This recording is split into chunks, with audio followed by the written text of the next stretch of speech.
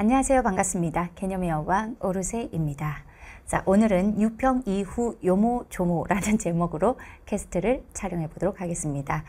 자, 일단 첫 번째 여러분들이 QA로 많은 요청을 하고 있는 것 중 하나가 선생님이 6월 1일 모평 이틀 전 5월 30일에 업로드를 했던 5월 30일 급작스럽게 업로드를 해드렸던 합성함수 기본부터 n축까지라고 하는 이 cast를 현장에서 어, 진행했던 강의라 일주일간 공개를 해드리겠다. 6평 마지막 방황하는 정신을 잡아주는 좋은 공부가 될 거다라고 이야기를 하면서 이날 업로드를 했던 이 합성함수 캐스트를 선생님 일주일이 지나도 내리지 말아주세요라고 하는 요청이 되게 많았어요. 그래서 어, 내리지 않으려고 합니다. 근데 계속해서 올려놓을 수는 없을 것 같고요. 거의 강의이기 때문에 아주 오랜 시간 올려놓을 수는 없을 것 같고 여러분들이 6월 말 정도까지 공부하시면 좋을 것 같아요. 그래서 6월 말까지 살려놓도록 하겠습니다. 그리고 합성함수 캐스트 이야기가 나왔으니 한마디를 덧붙여 보면 이 합성함수 캐스트를 올릴 때에 선생님이 음, 6평 한 4, 5일 전쯤이었어요. 갑자기 이 합성함수 기본부터 n축까지 합성함수의 간접 범위부터 미적분 내용까지 해당되는 이 내용을 여러분들에게 꼭 보여주고 싶다라는 생각이 갑자기 들었어요. 그래서 선생님이 기획팀에 아 이게 좀 긴 강인데 6평 전 공부를 위해 꼭 필요할 것 같으니 좀 업로드를 해주세요라고 부탁을 드렸을 때 기획팀에서 선생님 담당하시는 분이 아, 선생님 이렇게 좋은 강의, 강의를 이틀 전 아니라 조금 더 일찍 주셨으면 좋았을 텐데요. 좀 아쉬워요 라고 하시면서 업로드를 해주셨거든요. 근데 그때 선생님이 진짜 아 맞아요. 2주 전쯤 올려줘서 학생들이 좀 긴 시간 동안 공부를 하게 했으면 좋은데 갑자기 생각이 났어요. 저도 지금 생각이 나서 지금 말씀드리는 건데 이틀이라도 볼 수 있게 좀 해주세요 라고 부탁을 했었어요. 근데 여러분들도 좀 느꼈겠지만 이번 미적분의 초고난도 그러니까 요 초, 초고난도 절대적 난이도가 초고난도는 아니었고 이 시험지 안에서 가장 난이도가 높았던 최고난도 문항이 미적 28번이었고 그 28번 문제를 선생님이 사실 그날 당일날 보자마자 왼쪽 함수도 fx가 2차에 합성돼 있고 오른쪽 함수도 코사인 파이 x가 우리가 흔히 그려봤던 x세제곱과 2의 1-x제곱이라는 함수의 곱으로 이루어진 함수의 코사인 파이 x가 합성된 꼴이 꼴이라 합성함수가 나왔네. 좌변도 합성함수, 우변도 합성함수. 어, 근데 우리가 미적분을 배우는 이유가 늘 선생님 이야기했듯이 수열의 극한급수를 통해서 정의역이 실수로 확장되기 전에 자연수가 정의역인 함수인 수열에 대한 극한을 충분히 극한급수를 충분히 공부한 다음 초월 함수를 실수 범위 안에서 극한, 연소, 미분, 여러 가지 함수에 대한 미분법을 통한 도함수, 그 도함수를 통한 그래프 개형으로 해서 결국 미, 미적분에서 수투도 마찬가지지만 미적분에서 우리가 공부를 하는 큰 줄기가 선생님이 그 첫 강의 프롤로그에서도 이야기했지만 결국은 어떤 함수든 주어지면 인풋과 아웃풋의 관계성을 얼마나 잘 파악하느냐라는 것. 그러니까 그래프의 흐름, 그것을 아는 것, 주어진 그래프를 보고 인풋과 아웃풋의 관계성을 이해하는 것, 또는 식이 주어졌을 때 정의역과 치역의 관계를 한눈에 보여주는 그래프 개형을 그려낼 수 있는 것 이게 미적분의 목적이기 때문에 28번 문제를 보는 순간 초월 함수 그릴 수 있고 거기에 합성되어 들어가는 코사인 파이 x의 그게 우리가 이제 다시 정의역으로 작동될 때 n축이라고 했는데 그 좌우 모두 합성된 상황의 두 함수였기 때문에 그리고 좌변에 미지의 f를 가지고 있는 이 함수는 우변에 이거야 라고 말해줬고 그래서 우리는 우변을 바라봤고 우변을 보니까 충분히 그릴 수 있는 함수고 우변을 굳이 합성된 꼴로 보지 않아도 미분해서 그릴 수 있고 그 미정계수 a가 최고차항의 개수 쪽에 붙어 있고 상수항에 붙어 있었기 때문에 그래프 개형에 영향을 주지 않는 자리거든요. 그러면 그건 그려라이기 때문에 충분히 그냥 미분해서 그렸든 코사인 파이 x의 합성의 관점으로 그렸든 충분히 그릴 수 있는 그리는데 그리 오래 걸리지 않는 그게 그렇게 구조가 복잡한 함수가 아니거든요. 도함수도 딱 2차 함수처럼 부호 변화가 일어나고 그래서 너무 이쁘게 출제된 합성함수, 좌변도 합성함수, 그래서 양쪽 다 합성함수로 그려서 당일날 선생님이 그걸 풀던 때 기억이 진짜 야호를 외쳤어요. 아, 6월 1일 되기 이틀 전에 또 갑자기 이걸 어, 온라인에 업로드를 하고 싶고 또 6월 평가 온 전날 선생님 현장 강의 중에 한 반은 6평 전날 강의가 있어서 다른 그 스케줄이 있었으나 다른 컨텐츠를 강의를 해야 됐던 그 커리큘럼 스케줄이었으나 그걸 빼고 합성 함수를 했거든요. 그래서 너무 기뻤어요. 이 cast를 본 우리 친구들은 너무나 당연히 쉽게 합성 함수를 착 그려서 너무 쉽게 풀지 않았을까 되게 기쁜 마음으로 혼자 신나게 웃었던 어, 기억이 있는데 물론 어, 이것이 자신에게 많이 체화가 돼야지만 그걸 문제에 적용시킬 수 있기 때문에 한 번 봤다고 해서 바로 풀어내기는 힘들었을지라도 그래도 도움이 되지 않았을까 되게 기뻤어요. 그래서 선생님이 6평이나 9평이나 수능을 앞두고 또는 문제를 제작할 때 이런 적중이 일어나는 게 되게 신기했고 이번에는 그걸 몇 년째 계속 지켜보시던 분이 신들린 예지력이라는 표현을 하시더라고요. 근데 선생님은 이거를 항상 어떻게 표현했냐면 갑자기 이렇게 떠오르는 것. 그래서 조교들도 물어봐요. 어떤 순간에 그게 떠오르는지 그 논리를 우리가 파악을 해야 된다. 근데 어떤 순간이 내 떠올랐을까? 이번에는 진짜 기억을 더듬어서 고민, 생각을 해봤거든요. 그랬더니 갑자기 떠올라요. 갑자기 이거를 온라인에 보여줘야 돼. 이렇게. 갑자기 수능 전날 아 이 문제를 오늘 얘들이 풀어야 될 것 같아 해서 수강생들에게 단체 문자로 쫙 돌렸는데 그 문제랑 거의 똑같은 문제가 그 다음날 출제가 된다거나 이런 건 정말 갑자기 떠오르거든요. 근데 그 어, 어쨌든 이 첫 번째 주제가 뭐냐면 신들린 예지력을 가지고 있다가 아니라 캐스트를 내리지 않을 텐데 어, 신들린 예지력이 주제겠군요.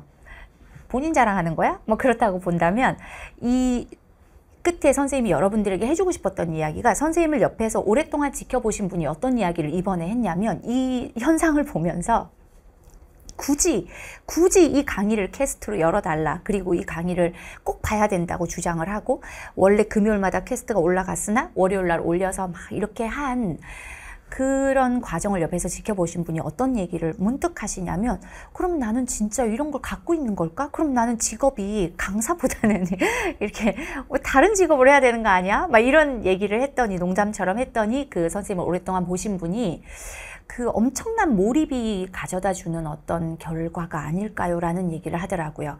그러니까 한 인간이 그 몰입이라는 책이 있잖아요. 선생님 최근에 봤거든요. 그 서울대 교수님께서 퇴임을 하시고 쓰신 책 있어요. 몰입이라는 것.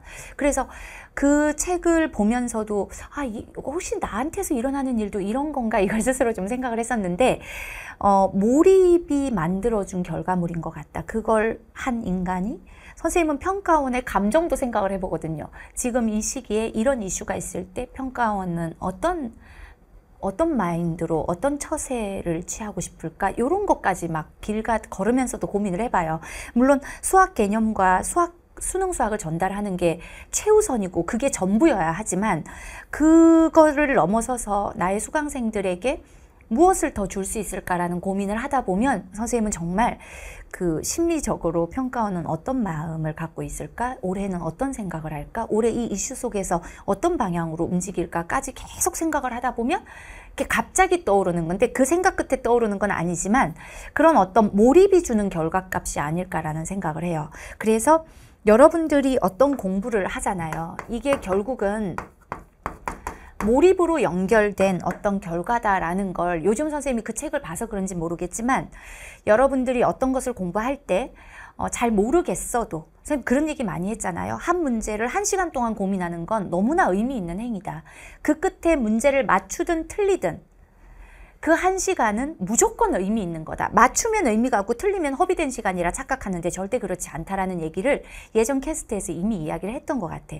그럼 몰입이 여러분들의 어떤 능력을 넘어서는 선생님은 약간 독특한 거지만 그런 몰입이 수학적 감각까지도 생기게 하는 진짜 나는 이 분야는 진짜 너무너무 나랑 안 맞아라고 생각했던 그런 분야가 나의 전공이 될 수도 있는 그 몰입이 가져다 주는 생각지도 않은 그런 결과값들이 생길 수 있다. 그러니 하나를 간절히 원하고 파고 열심히 하는 것? 어, 그러다 보니 세네 시간이 지나버렸어. 선생님 시간 낭비한 거 아닐까요? 라는 걱정은 안 해도 된다. 그 세네 시간 동안 정말 많은 걸 배우고 얻었을 거다라는 얘기를 하고 싶었어요. 그런 몰입이 계속해서 반복되면 그 분야의 천재가 된다라는 게 그 책의 주제거든요. 근데 여러분들이 이 수능 공부를 하는 과정 속에 이런 몰입이 어, 있었으면 좋겠다. 이렇게 빠져들었다가 나오고 빠져들었다 나오고 그러면 공부하는 것 자체가 굉장히 괴롭지 않고 시간의 흐름이 정말 잡고 싶을 정도로 빨라버릴 거고 선생님이 그런 경험을 하면서 강의 준비를 하거든요. 그런 몰입이 여러분들의 공부하는 과정에 있었으면 좋겠다라는 생각을 합니다.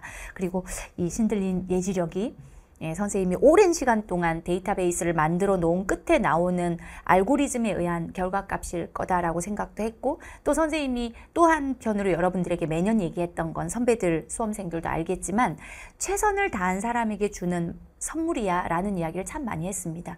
네가 최선을 다했으니 네가 가져라. 노력은 네가 1등이니까 요건 네가 가져 라고 주어지는 우주의 선물, 선물이다 이렇게 생각을 해요. 여러분들도 그런 몰입을 통한 결과 최선을 다한 노력에 의한 선물 이 많은 것들을 올해 받으시기를 바라고 그런 걸 받아본 여러분들은 결과와 상관없이 너무 멋진 삶을 살 거다라는 생각을 해요.